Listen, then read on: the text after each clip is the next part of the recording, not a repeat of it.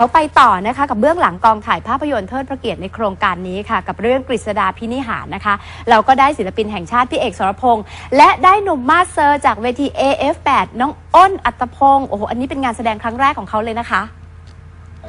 ออกจากบ้าน AF ได้ไม่ทันไรนะคะ หนุ่มเซอร์อ้นอัตพงศ์ก็มีงานแสดงจ่อคิวทันทีค่ะ ล่าสุดก็มารับบทนำในหนังเทิดพระเกียรติกฤษฎาภินิหารหนึ่งในโครงการเทิดเกล้า ซึ่งนอกจากหนุ่มอ้นจะตื่นเต้นกับผลงานหนังเรื่องแรกแล้วนะคะ เจ้าตัวและเพื่อนๆก็ยังภูมิใจสุดๆ ที่ได้เป็นตัวแทนคนรุ่นใหม่ ถ่ายทอดเรื่องราวจากพระราชดำรัสของในหลวงค่ะ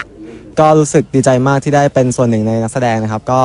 เป็นหนังเทิดพระเกียรติในหลวงครับ ก็เป็นเรื่องแรกของผมด้วย ก็อยากจะทำผลงานมาให้ดีที่สุดครับ เป็นการรีเฟล็กระหว่าง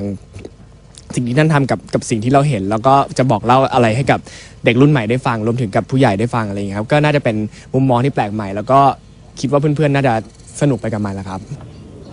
ขณะที่พระเอกศิลปินแห่งชาติสรพงษ์ชาตรี ซึ่งแม้จะเคยร่วมแสดงหนังและละครเทิดพระเกียรติมานับครั้งไม่ถ้วนแล้วนะคะ แต่บทบาทตำรวจชนบทในเรื่องนี้ ก็สร้างความประทับใจให้แก่เจ้าตัวเป็นอย่างมาก ทั้งยังหวังให้ผู้ชมได้ทราบซึ้งในพระปรีชาสามารถ และพระมหากรุณาธิคุณ ในพระบาทสมเด็จพระเจ้าอยู่หัว ที่ทรงตรากตรำพระวรกายเพื่อปวงชนชาวไทยเสมอมาค่ะ